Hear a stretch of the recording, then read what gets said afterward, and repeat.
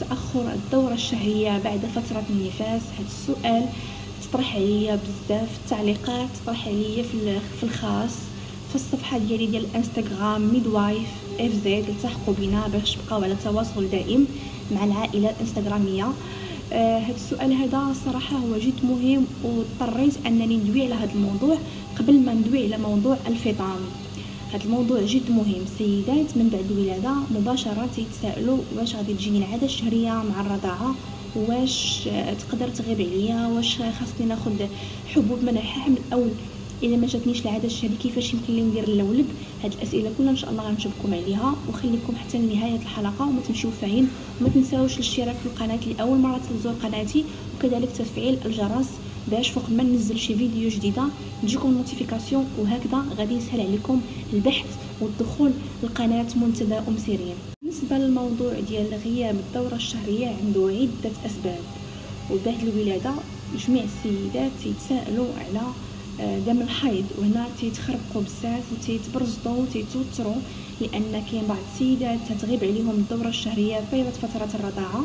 وكاين بعض السيدات تجيهم الرضاعة تجيهم العادة الشهرية عفوا تجيهم العادة الشهرية منظمه كل وقت بوقته. من ضمن الأسباب اللي ممكن تخلي الدورة الشهرية أنها تغيب لمدة عام أو عامين أو أكثر يعني أكثر ماشي أكثر من عامين أكثر من عام آه، وهي الرضاعة الطبيعية. الرضاعة الطبيعية تتلعب واحد الدور جد مهم وجد فعال في حياتنا في الولادة كلها بصفه عامة. آه علاش؟ علاش هاد العادة الشهرية تتغيب مع الرضاعة الطبيعية؟ الجواب مباشرة هو ان كاين واحد الهرمونات تيفرزها الجسم أثناء الرضاعة الطبيعية وبالتالي هنا كتخلي الرحم ديالنا تيتقلص وتيرجع للمكان ديالو. وديك التقلصات ديال الرحم كتخلي أن هذيك هذيك الدم ديال الحيض ما تبقاش نزل وتيرجع الرحم للحجم ديالو الطبيعي. يعني باختصار كلما زادت عدد ديال المرات اللي غادي نرضع فيها البيبي ديالي تقدر أنه العادة الشهرية ما تبقاش تجيني آه بتاتا لأن خاصني نرضع البيبي ديالي بزاف ديال المرات وباستمرار يعني 8 ديال المرات في النهار وبين وفي كل ساعتين كل ساعتين تكون الرضاعة الطبيعية. يعني الرضاعة الطبيعية خاصنا نعيشوها بنظام نكونوا منظمينها ونكونوا تنعيشوها بواحد الحب والفرح.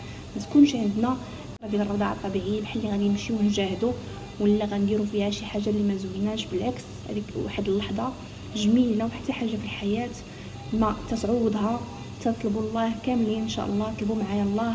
آه الله يسهل على كل سيدة محرومة من الذرية الصالحة يا ربي. السبب الثاني هو الرضاعة الصناعية. يعني السيدات اللي تيرضعوا رضاعة صناعية هادو تقدر ترجع لهم العادة الشهرية ديالهم بعد ثلاثة أشهر. لأن الرضاعة الصناعية بوحدها ماشي بحال الرضاعة الطبيعية. الرضاعة الطبيعية راه معروفة باللي راه الأم تترضعه يعني بالتالي عندها تواصل مع البيبي ديالها غتنقطع عليها دم الحيض. بالنسبة للرضاعة الصناعية هنا الأم ما كترضعش رضاعة يعني طبيعية غير الرضاعه الصناعيه بوحدها. يعني ما عندها حتى شي حاجة ما غتأثر عليها. غادي تبقى تجيها العاده الشهرية عادي جدا. وكاين بعض الأخوات اللي تيرضعوا رضاعة طبيعية مئة في المئة وتجيهم العادة الشهرية. يعني اللي بغيت نقول لكم المعلومة اللي بغيت نوصل لكم باللي كل وحدة ماشي بحال الأخرى. أنا تنرضع تقدر تجيني. تقدر تغيب عليا في مرة. الأخرى كذلك الأخرى كذلك. يعني ما نربطش الحالة ديالي بالحالة ديال سيدة أخرى. سؤال مطروح الأكثر أهمية. واش آه نقدر أنني ما نحملش أو نحمل مع غياب العادة الشهرية؟ نعم نعم وبقوة. ممكن أن السيدة اللي تترضع رضاعة طبيعية وعندها غياب الدورة الشهرية أنها يكون عندها الحمل لأنك تكون الخصوبة جسم تيطرح وتيحرر بويضة. في غضون ثلاثة أسابيع من بعد غياب الدورة الشهرية. يعني أي وحدة ولدت وسواء تجيها العاده أو ما تجيهاش العاده وخاصة اللي ما تجيهمش العاده الشهريه خاصهم يديروا وسيلة ديال منع الحمل يعني نرد بالي مزيان وما نقولش باللي الرضاعه راها حامل يعني. وكنتمنى اللي عاش ودازت من هذه التجربة هذه تبارطاجيها معنا في التعليقات باش الأخوات يتأكدوا ويستافدوا من المعلومة ديالكم.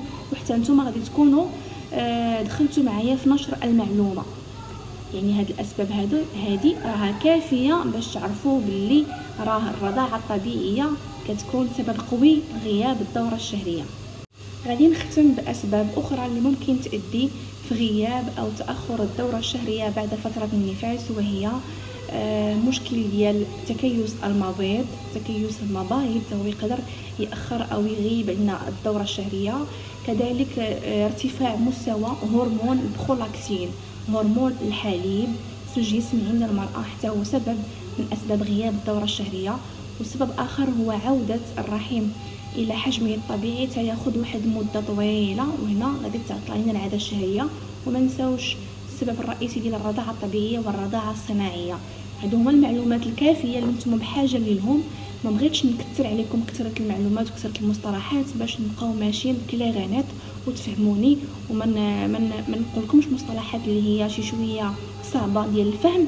وهكذا إن شاء الله تكونوا استفدتوا ونكون جاوبتكم كاملين بدون استثناء على الموضوع ديال غياب أو تأخر الدورة الشهرية بعد فترة النفاس أو نقدروا نسميوها باختصار اضطراب الدورة الشهرية.